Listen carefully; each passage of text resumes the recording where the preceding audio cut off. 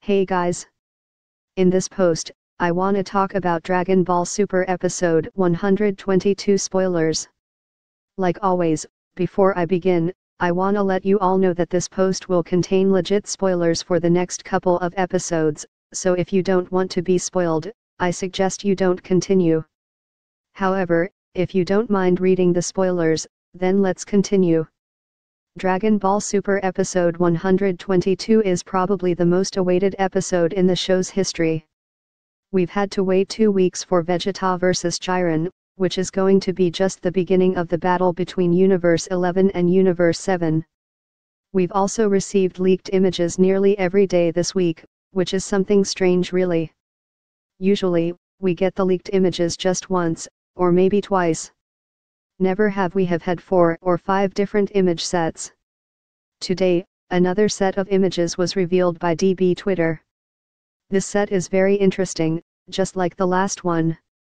If you remember, the last set we got showed all the gods and angels sitting together. They are either with Universe 11, or Universe 7. It seems something has happened to the arena, and I think Vegeta might have blown it to bits, which is why the gods needed to move. But, that's just speculation right now.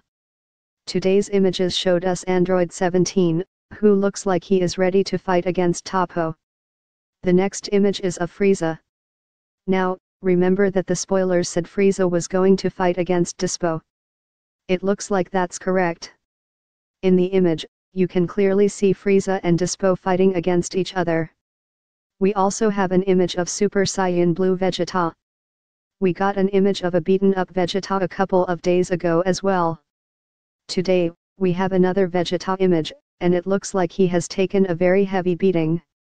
That's to be expected really, since the spoiler said that he is going to lose to Jiren without even putting up a good fight. I have a lot to say against that, but I've already covered that in a separate post. Lastly, we have an image of Beerus. Finally, we have one of Beerus. In the past five sets, he was nowhere to be seen. We saw all these different gods.